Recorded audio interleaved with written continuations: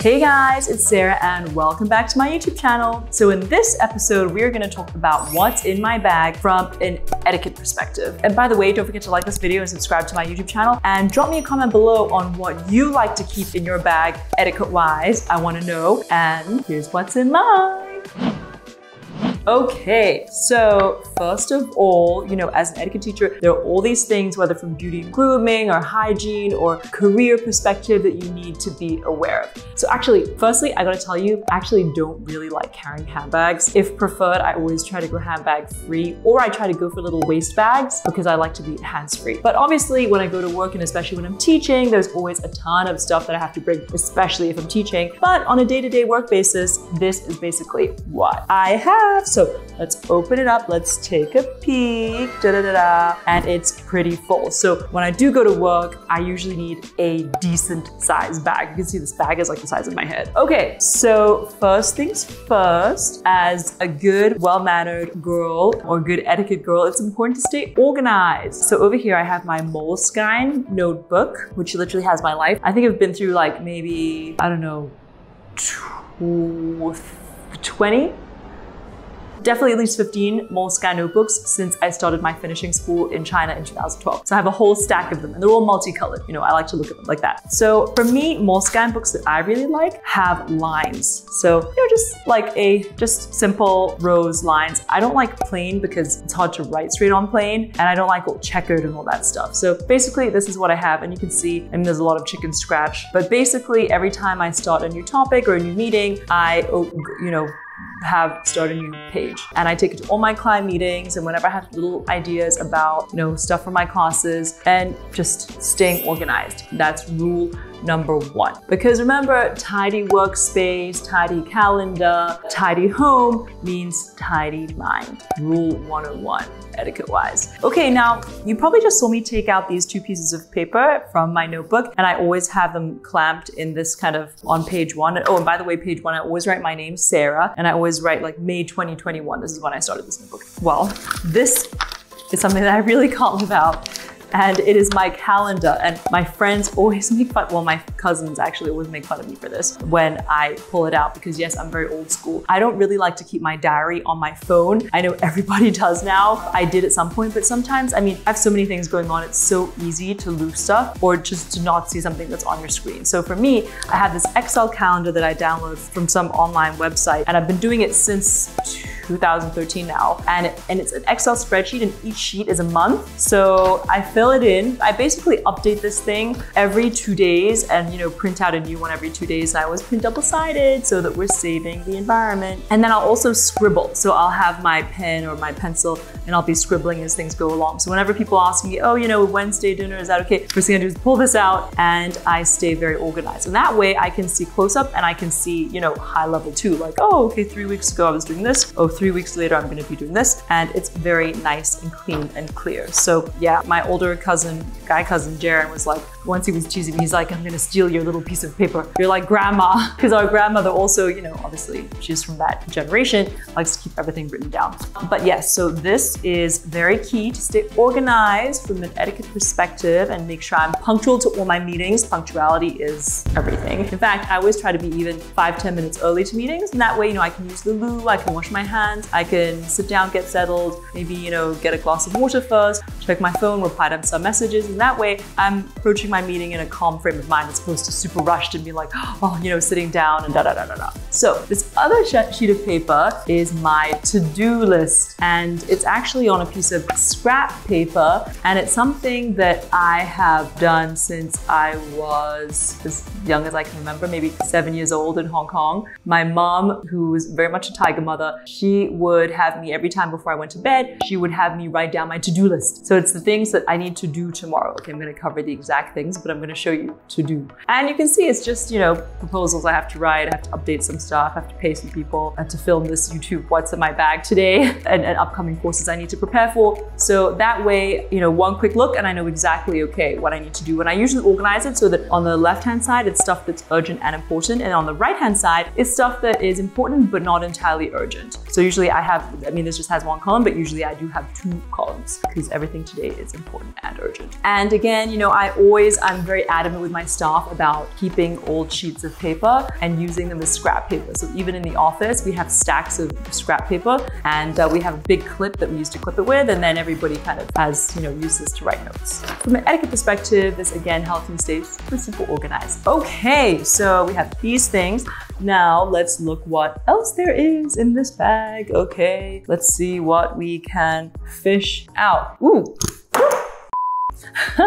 so from a beauty perspective, well, there are always two things that I keep from a beauty perspective. I guess there are a couple things, four things, but from a face perspective, here are two things. One is a must have. It is a lip balm. So this lip balm is from Le Labo. I bought it a few months ago. And that's because, you know, from an etiquette perspective, you do not want to have chapped lips. You always want to have some nice, soft, supple, kissable lips. But anyway, look, you just don't want to walk into a meeting or have a conversation with someone and your lips are really dry and chapped. This is beauty and grooming 101.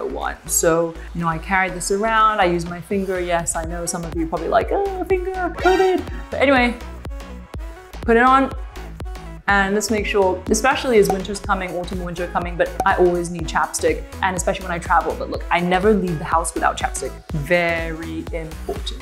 Now, apart from chapstick, this is from a new favorite brand of mine that's French called La Bouche Rouge. Here we go.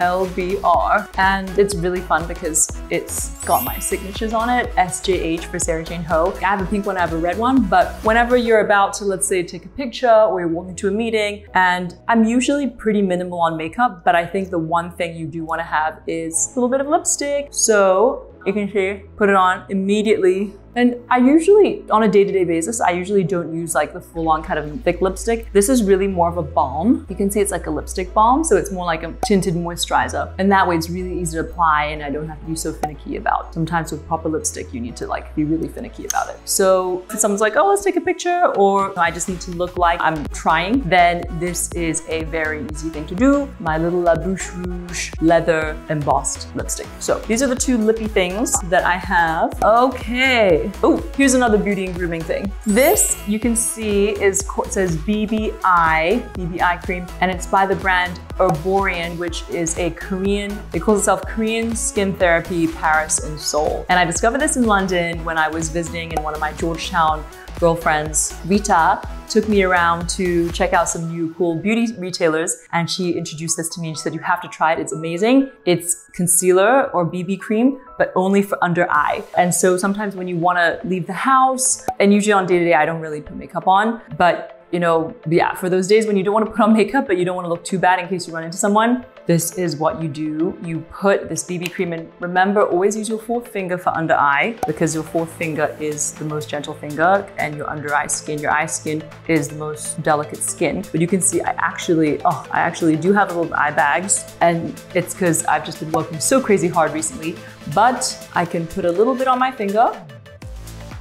Ta-da and then so my fourth finger, and I literally just pat it under my eye and it looks like I have slept for eight hours. So pretty amazing. From an etiquette perspective, you always wanna look presentable and well rested, even if you're not. So this is my little secret that my friend Rita passed on to me. Amazing. Okay, so now we got this out of the way, my little secret, and you can see I'm nice and light right under my eyes now. I look way more well rested than when I opened this video. And let's see. Okay, here is another thing for the face. Every now and then we will have little spots, little who knows what happens, and all of a sudden, you know, there's that little pimple that's about to become a bigger pimple, etc., etc. But we do, girls, need something called concealer. And I always like to leave the house with concealer, sometimes in stick form, but I guess today's bag, it's my IPSA, which is kind of like a must-have for a lot of makeup artists. So you can see there are three different kinds of colors and you can mix and match, but this is really a must-have for just in case, you know, something happens. In my my skin is really sensitive, so even the slightest speck of dust on my skin, like I go pink, I go red. So immediately I'm applying this on. Beauty and Grooming 101.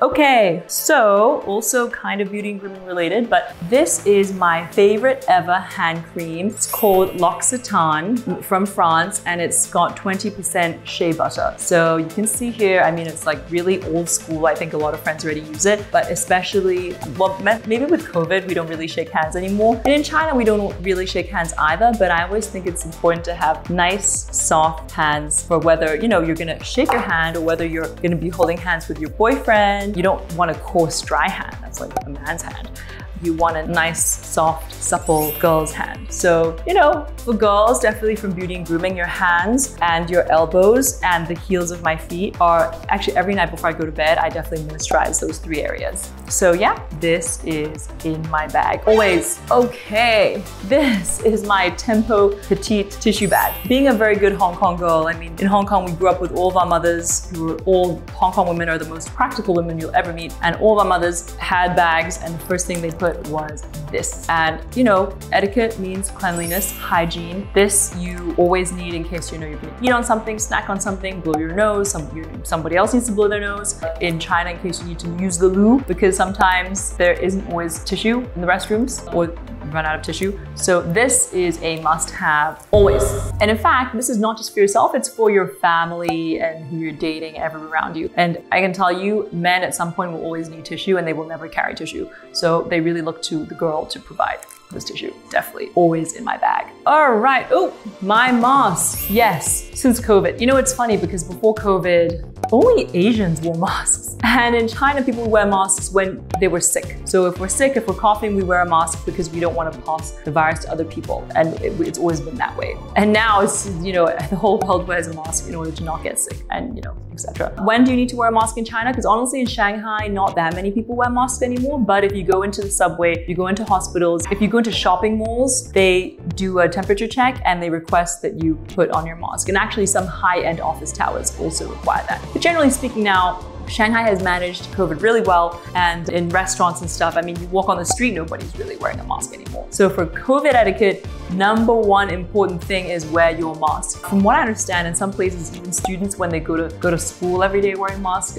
I know it's really, I can't even imagine. I mean, wearing a mask is really uncomfortable, but that's why it's all the more important that you are, you have a good face wash especially for this area, which can definitely, I mean, I remember when I was in Hong Kong and they were really militant about wearing masks everywhere, even if you were jogging outside. But, you know, I started growing a couple of zits here, so it's extra important to have a good face wash and to always be, you know, washing your face very well. All right, from a business etiquette perspective, I always carry my business cards. So this is this is a really old Bottega Veneta business card holder that I've had as long as I can remember, maybe like seven, eight years. And you can see in the front is where I put other people's name cards, in the back is where my name are. So in China, especially when you go to business meetings, the first thing you do is you pull out your business card and when you give it, facing the other person so the other person can read it. You definitely do not give it so it's facing yourself. It's not supposed to be for you to read, it's for the other person to read. And so this is the, really the first thing you do in Chinese business etiquette. And usually, let's say if I'm going to a meeting and there are a few of us and there are a few of them, we're sitting across from the table,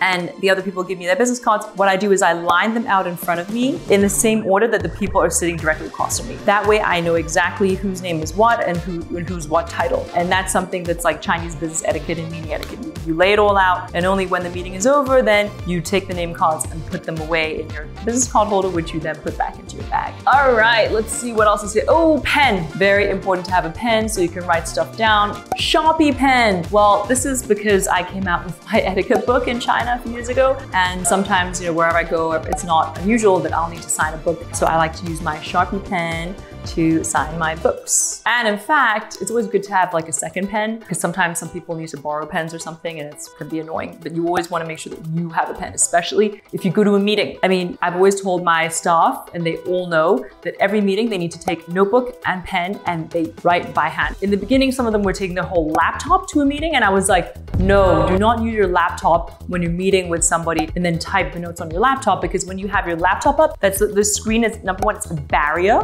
for subconscious consciously with the other person. And number two, once you have, once the other person sees you're facing a screen, it doesn't feel the connection isn't there. And they don't know if you're like on Messenger or Facebook or something with your screen. They don't know what you're doing. So you want to show that you, they have your total attention. And yes, that does mean the old school way, which is notebook and pen.